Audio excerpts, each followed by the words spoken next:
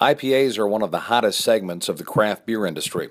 What is the history behind this style of beer? IPA, uh, it stands for India Pale Ale, and it's, a, it's an old English style that was actually brewed for the English troops um, in the, the colonies in India.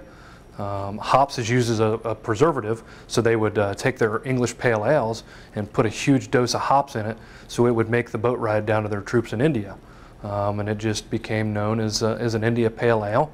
Uh, the hops was there to preserve that beer for the long boat ride, um, and the result was a big, uh, hoppy forward, bitter English style pale ale.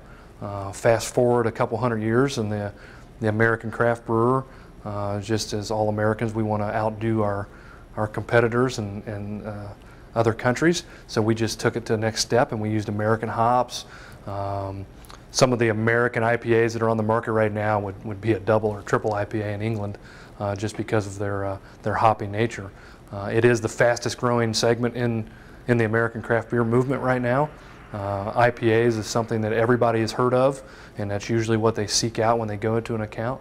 It's a great style.